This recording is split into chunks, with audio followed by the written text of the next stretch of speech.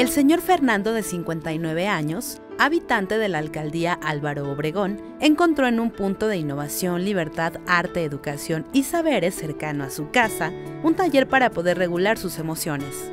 Antes, el enojo y la ira lo sobrepasaban. A veces por impulso digo cosas que no están bien y de repente digo, bueno, ¿qué estoy haciendo? Me detecto y digo, párale, ¿no? Y ya me hago, ya me paro y, y pienso mejor las cosas. En el Pilares, conocido como La Comuna, este taller se imparte de forma gratuita.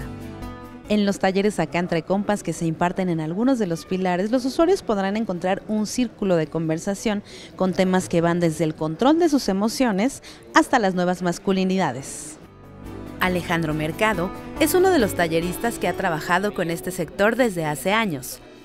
Los hombres, en este caso, es un sector abandonado en esta cuestión de emociones, porque la sociedad siempre nos ha dicho que nosotros como hombres no podemos expresarnos, no podemos mostrar sentimientos y siempre debemos ser estoicos hasta el final. Y creo que eso pesa mucho y al, y al final pues desemboca en nuestras relaciones y en cómo nos comportamos. Para Alejandro de 42 años, el tener idea de nuevos conceptos le ha ayudado a mejorar sus relaciones. Manejamos mucho el término mi- micromachismo, que son situaciones que tenemos por cultura.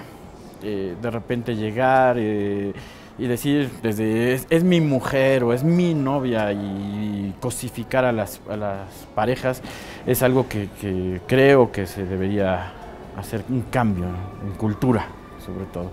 Y estos términos nos han ido haciéndonos dar cuenta que cuán valioso es este- este, hacer esos cambios, ¿no? La información sobre estos talleres se puede encontrar en la página pilares.cdmx.gov.mx. Con imágenes de Daniel Reyes, 1TV, Paola Olivares, información útil.